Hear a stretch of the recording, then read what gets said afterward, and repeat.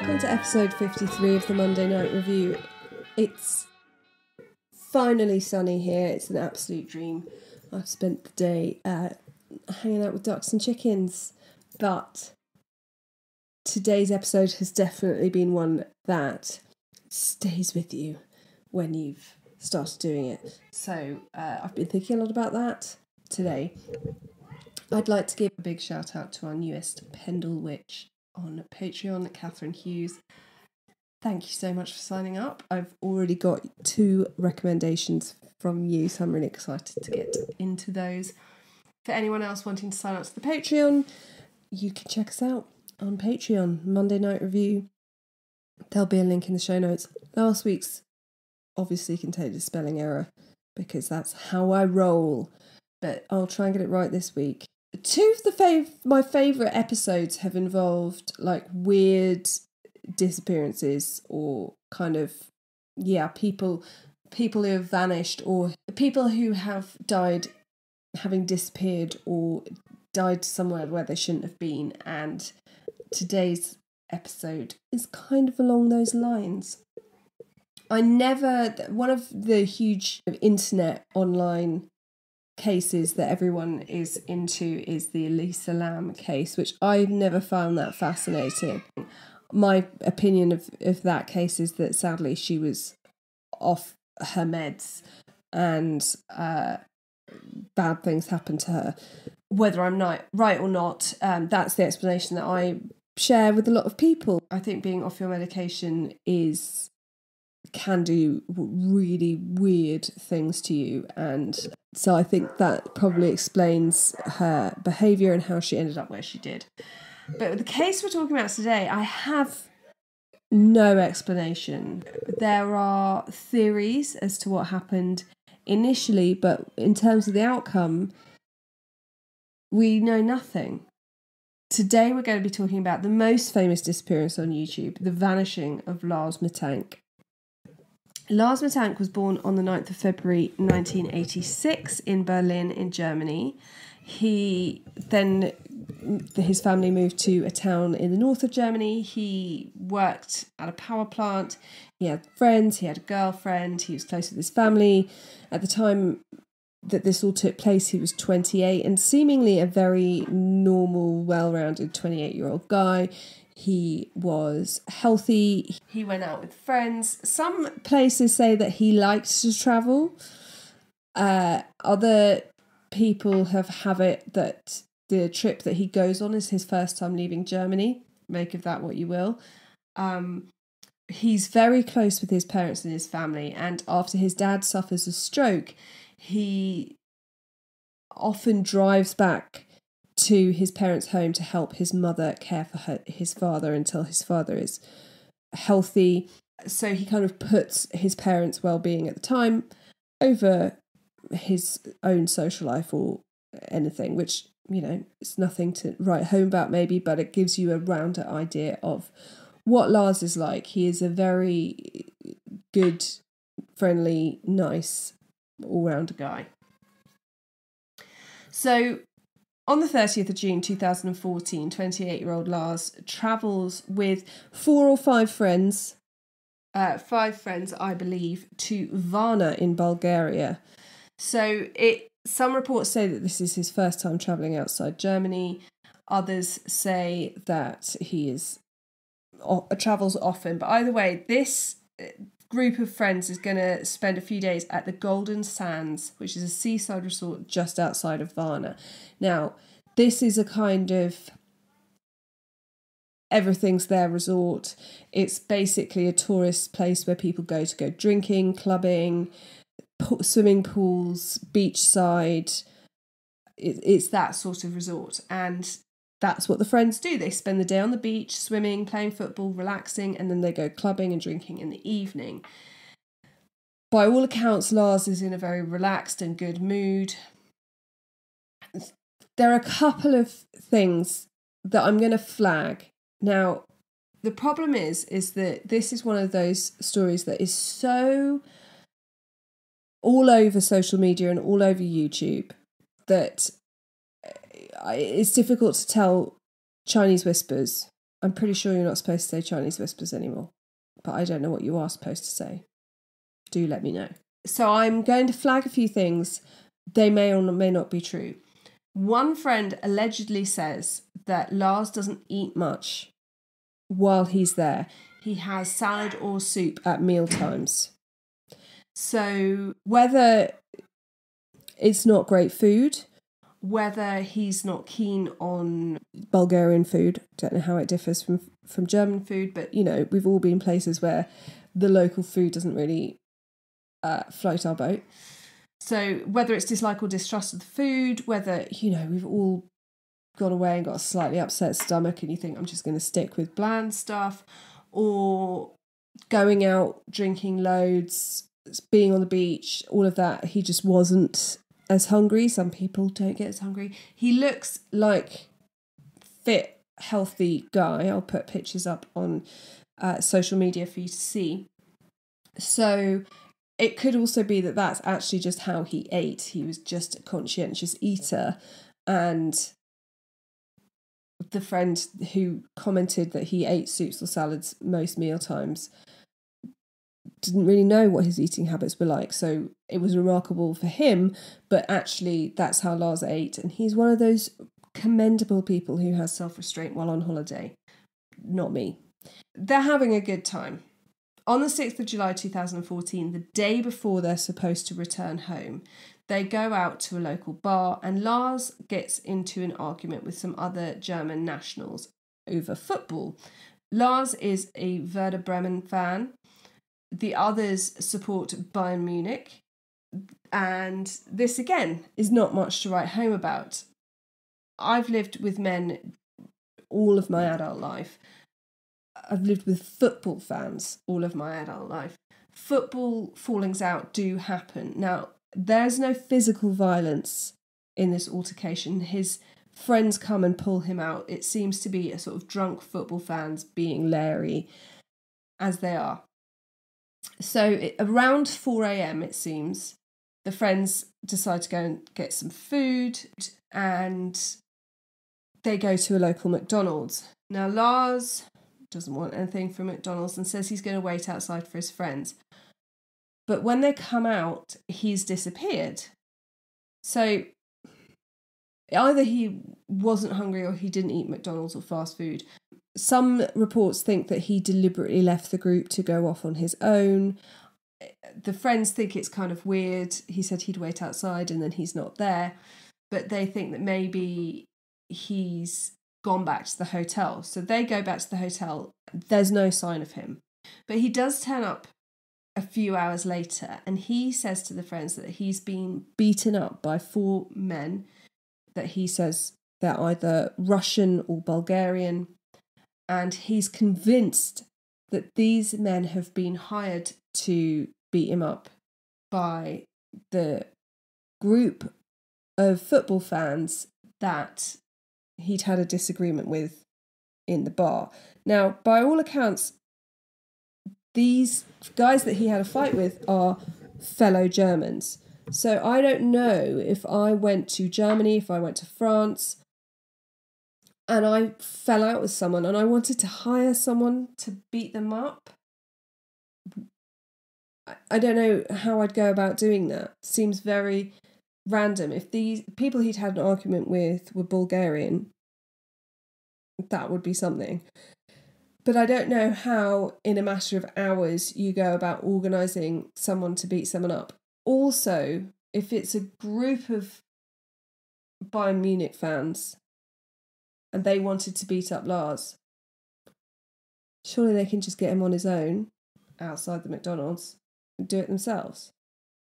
There's more on that to get into in a minute. So the friends are also confused because they were like, well, if the men approached Lars outside McDonald's, why didn't you come in to McDonald's to get your friends or to be with your friends or to be safe. Or if you were lured away, what lured you away from waiting for your mates outside McDonald's? How did these guys know where you were going to be? Um, so they kind of think it's weird and that he's acting strangely, but they're, you know, we've all been out where friends have had a weird night or someone's been a bit sketchy and you think, okay, something's gone on, but that's fine. They're back. He's here now. They're due to go home the next day. Everything's fine. So, whatever had happened, Lars was suffering with an injured jaw and a sore ear. And so the friends take him to the doctor to get him checked out, and the doctor says he's burst his eardrum. And as anyone who's burst an eardrum or damaged the eardrum will know, the doctor advises him not to fly. It could cause a lot of pain, and he uh, pre- prescribes an antibiotic called cefprozil. Now, Mittank's friends, Lars's friends, want to stay with him until he's ready to fly home, but he's very insistent. He says, Go, I'll be fine. I'm going to uh, book into a cheaper hotel right near the airport. I'll be home in a couple of days. No point in you waiting for me. So he persuades them to, to go. There's a lot of controversy about this on the internet about how you never leave anyone behind, but I've got a theory on that. Anyway, so Lars checks out. When they all check out of the hotel, Lars checks out at the same time. But then they go to the airport and he goes to the Hotel Color Varna for one night. It's cheaper, it's next to the airport. But when his friends leave, Lars seems to become very paranoid. He calls his mother Sandra and in a whisper he tells her that people are trying to kill or rob him and that she needs to cancel his credit cards. So she calls the bank and they say there's nothing unusual going on with his cards. No one's done anything. His account looks fine. So she calls back Lars and he says she has to cancel the cards. He's got enough cash to get him home. So she does as he asks. Later that night, the closed circuit TV security camera in the hotel records him pacing up and down the halls, looking out of windows, hiding in a lift, and then at 1 a.m., he leaves the hotel, returning about an hour later, but we don't know where he goes during this hour, whether there isn't CCTV or whether that CCTV has disappeared or whether they never bothered looking. Again, We'll discuss that later. But he's out for an hour. He com- comes back to the hotel, and in the morning, he calls his mother and says that the people who are following him are getting closer. And she's obviously concerned. He's there on his own, he's been beaten up, or something has happened to him, he's injured, but she knows that he's near the airport, he's got cash he's coming home. She's she's helped him book onto a flight, and she says to him, you know, you need to go to the airport doctor and get signed off to fly. So on the 8th of July 2014, Lars gets in a taxi for the airport in loads of time for his flight so that he can get his ear checked by the airport doctor, who is Dr. Costa Kostov. The taxi dri- driver would later say that Lars' pupils were really dilated, but this isn't mentioned by the airport doctor as far as I know. So Lars texts his mother to say that he's arrived at the airport. She's really relieved and happy, and he, she confirms to him that his flight is booked.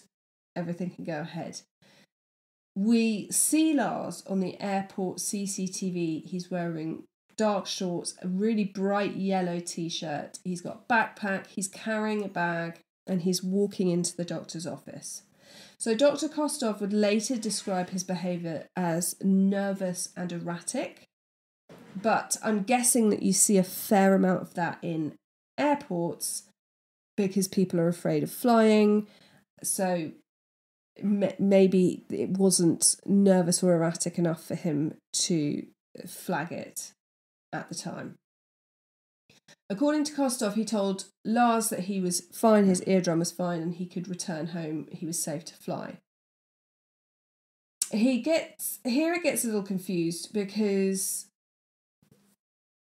some people say that he last didn't leave his office he expressed doubt about the medication he was taking um, and Kostov apparently checks the online prescription system and it said Lars never filled the prescription. He never picked up his antibiotics. That's going to be important later. It's also interesting to note that allegedly Kostov changes his story three times, which is maybe why there's a bit of conflicting information about whether Lars was concerned about his the, the effects of his antibiotics, that his antibiotics hadn't been filled. Um, whatever happened, Lars is in the doctor's office, and a construction worker wearing a high vis jacket enters the doctor's office. Now, there's renovation work going on in that area of the airport at the time, so this isn't unusual. But Uh, Costa says that Lars began to visibly tremble and shouted, I don't want to die, I don't want to die, I have to get out of here.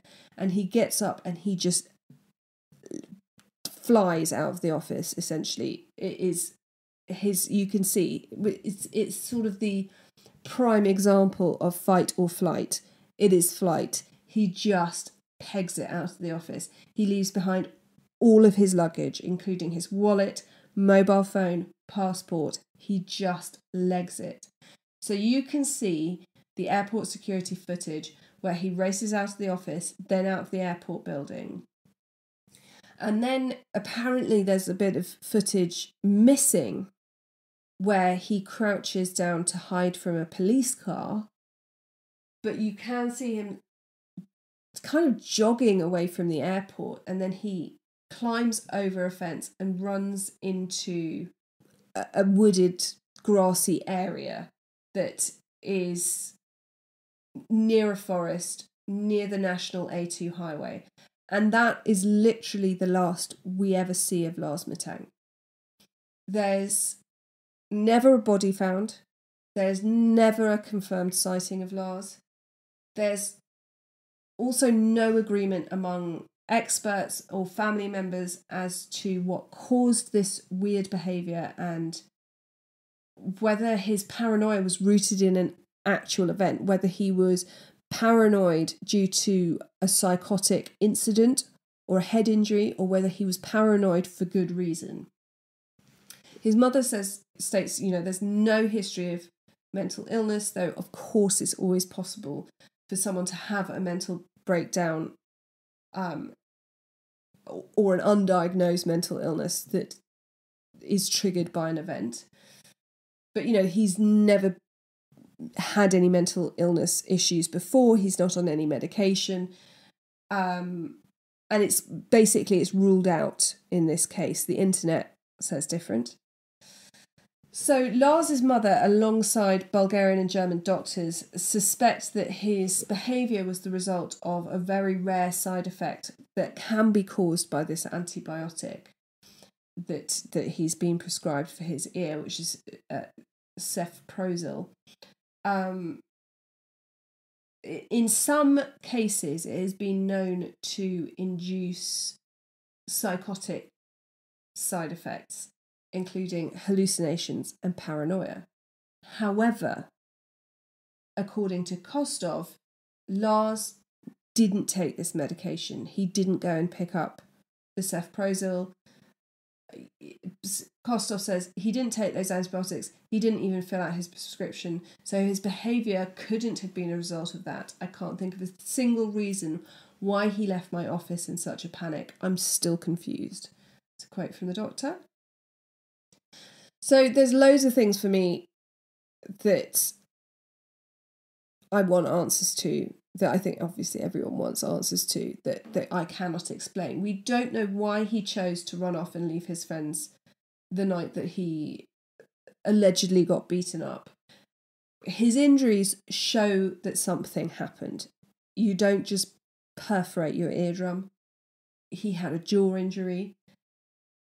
Um but for me, as I said earlier, I don't think football fans would put a hit out on someone. I rather suspect they're more likely to have spiked his drink, which could have resulted in his strange behaviour. I'm going to go into that more later. But if that is the case, I wonder if there are some guys out in the world feeling pretty fucking horrendous. So when the police come to a dead end in their investigation, which is pretty immediately by all accounts. Uh, Sandra hires a private investigator, Andreas Gutig. So Sandra flies out there the day after, uh, on the 9th of July. She flies there to look for her son and to try and galvanise the police force. So she, Lars has experience in hunting, fishing, and trapping. He's confident outdoors. He camps, all of that. So there's a lot of skepticism about whether he'd be able to survive for long outdoors due to the intense heat of the summer and the lack of food. We know that he didn't have any anything with him, no wallet, no mobile, or anything. Um, but his mother believes she he, she's his mother believes that he is still alive, that he would be able to look after himself, and that if he has lost his memory, he just has no way of getting home or help getting to anyone who can help him. About a year after his disappearance, a truck driver thought he saw him hitchhiking in Varna, and there have, of course, been some reported sightings of him in several other countries, but none of them have been confirmed. So, one theory believed by many is that he was having a psychotic break. He basically ran until he dropped down and died of dehydration. It's very hot at that time, and we know he had nothing with him. Uh, we also have very little info on police searches, but for me, this this theory doesn't work because we see him jumping over a fence in a wooded area. So surely basic policing would involve searching that that immediate area from where we see him jumping over the fence. He you know it's it's near an airport near a road. It's not in the mis- middle of a desert or a jungle. So i would have assumed that they would conduct a search of the woodland and not found him. He's wearing a neon yellow t-shirt. You'd surely be able to work out in that heat with nothing a sort of perimeter of where to look. So i don't know. I i, I feel like it's I feel like that is a very basic and often it's the you know I do understand that often it's the simplest explanation that's the one but I don't know. What's very interesting is that a, a couple of places Bulgarians have put in their opinion. One thought is that that Varna has a big problem with organized crime with up to 40% of the population being involved in it. And this would have the effect of making the police less likely to make an effort looking for someone. It's also possible to make someone vanish, and it could mean that the police really didn't bother with the search if they thought that he was involved in organised crime. But I don't know that someone who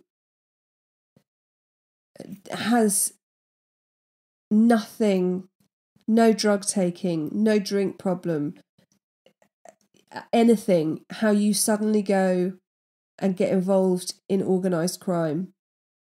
Um, and I know that anything can happen to anyone, but I would have thought if you were wanting a drug mule, you use someone who you've enticed with drugs. You don't use someone who's who's not a drug taker. How are you gonna Uh, it j- just doesn't fit for me.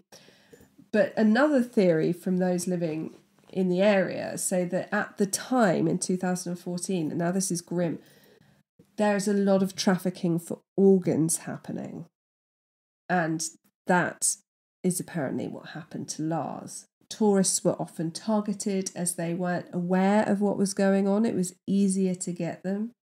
And there would be a slower start for people to look for them because obviously if you're not home you're not with your family like like with Lars people might just think oh he's he's gone off on his own uh, this is a pretty bloody horrible possibility. He could definitely, as I mentioned earlier, he could definitely have had his drink spiked. Once you've spiked someone's drink, you can tell them, as we all know, with date rape, you can pretty much control them and you can keep spiking them.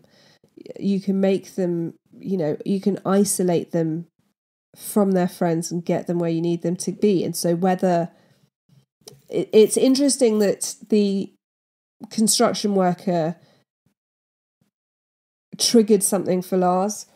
Um, you obviously they couldn't they couldn't um, predict that he was going to run out of the airport, but whether I don't know if we've spoken to the construction worker and whether he's been verified, but whether that was a trafficker coming in to get him out of the doctor's office under the guise of being a construction worker, I don't know, but the, I I tend to um, put a bit more weight on the stories that come from the locals because obviously they're going to know more about what's going on than a British woman sitting on her sofa in Hampshire. Something that sounds quite possible. One of one of my top possibilities is that Lars, whether he did get beaten up or whether he hit his head, he fell over and damaged. Do you know what I mean? Hit his head and did something. Whatever happened, when if he suffered a brain injury at the same time as bursting his eardrum, this would explain his dilated pupils and his odd behaviour. It doesn't make the either of the doctors who saw him look good. Um, I would assume that they would shine the light in. I mean, they seem to shine your a light into your eyes at any given opportunity. So I'm pretty sure if someone came in and said they'd been hit around the head they had this perforated eardrum, they had a sore jaw, that you would shine a light into the pupils, and that would flag a um you know that would flag a brain injury but it would explain the dilated pupils it would explain the odd behavior it would explain the kind of ongoing odd behavior that his friends don't seem concerned enough to stay with him. Now, there's a lot of hoo ha on the internet about how you never leave a man behind and all of that. But I think the, the thing is, if he was behaving normally and seemed okay, then they they wouldn't feel bad leaving him. If I think if he'd been exhibiting signs of paranoia and you know, mental distress, they would have stayed behind. Um, so, it, it, either way, this brain injury doesn't explain why his body's never found and if he's still alive, why he hasn't been traced. I don't know enough as to speculate how long a brain injury can last, what the effects of that kind of knock on the head are you know one that could burst an eardrum.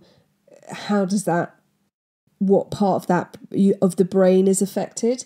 But i know that dilated pupils from a brain injury is not a good thing. But obviously uh, uh, having a drink spiked or, or being continued to be spiked in some way would also explain the dilated pupils.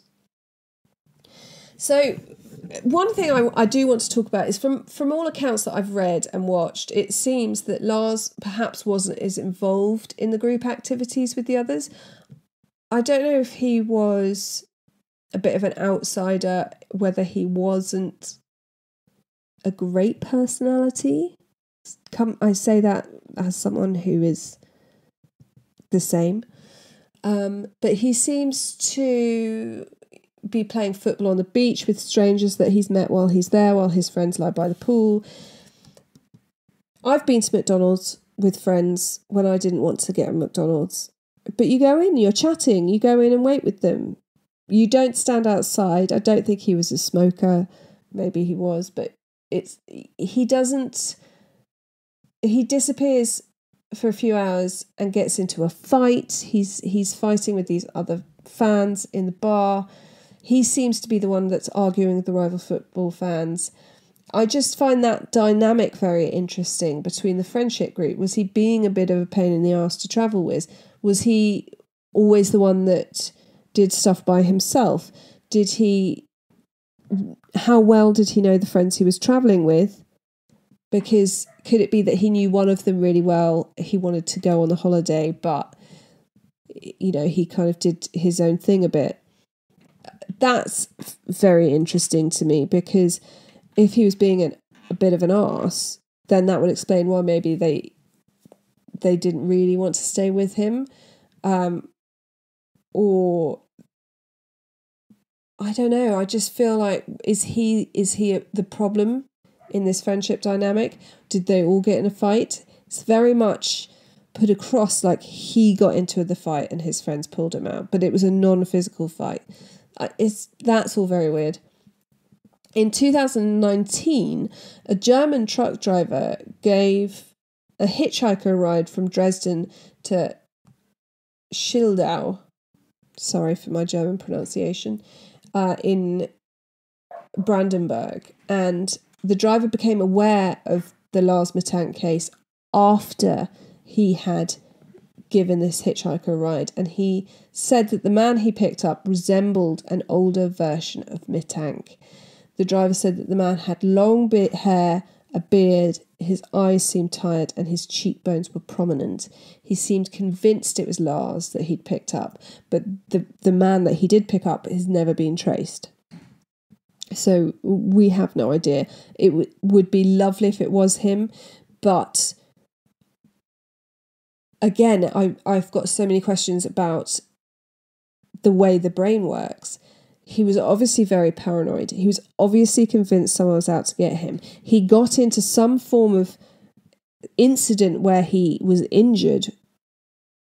So, does that paranoia continue over? I would like to think that if I had amnesia or I lost, you know, I didn't know who I was or where I was, that I would ask someone to help. But he's obviously very paranoid so maybe he is too afraid to ask anyone for help. It, seems very unusual. I also want to know if this German hitchhiker had a conversation with this guy. Um, so the theory that I have, and there is no evidence for this, so it could be shot down by those who know more than me. I would have thought that if anything, the rival football fans would have dosed him for being a wanker rather than hiring a hit. The the hiring a hit for me is an absolute non-starter. But I don't. I think they may have dosed him with some GHB or something, and for that could account for his disappearance. It could explain the resulting paranoia. It could explain him having injuries that perhaps he doesn't remember how he got or he hallucinated that he's being beaten up.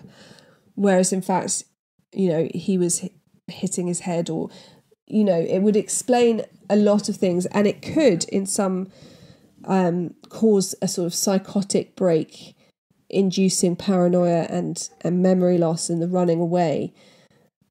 But i'm not sure if he was still alive whether he would still not know who he is and be wondering about.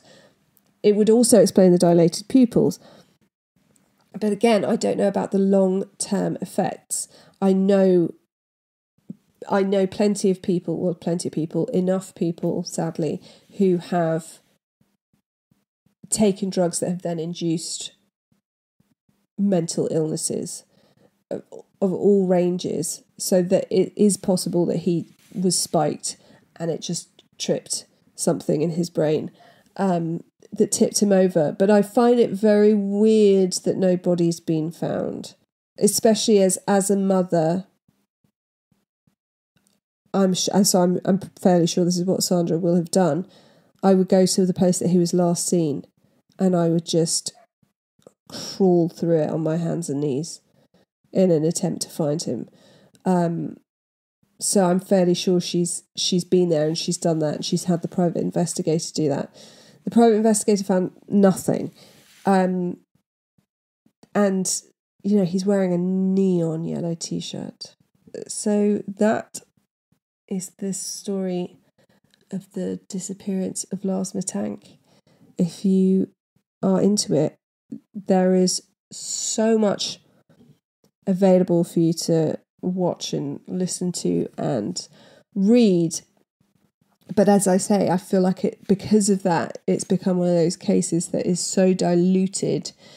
Like even words and language that I've used in this episode could influence the way someone else tells the story that could be completely non-factual.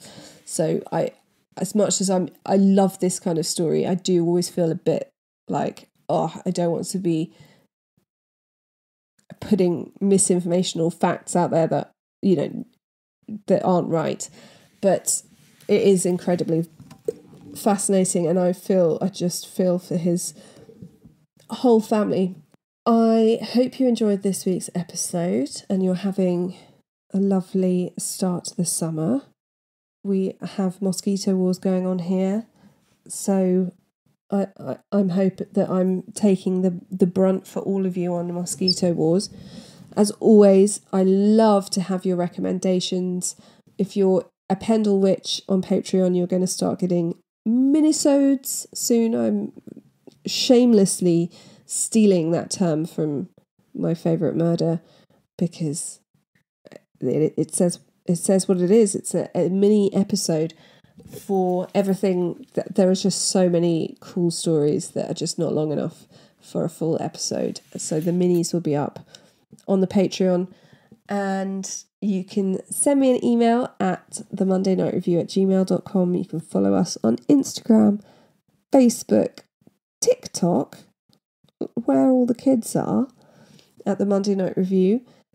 And I love to hear from you. So send me a message. And until next time, be kind, stay safe, always check the back seat before you drive.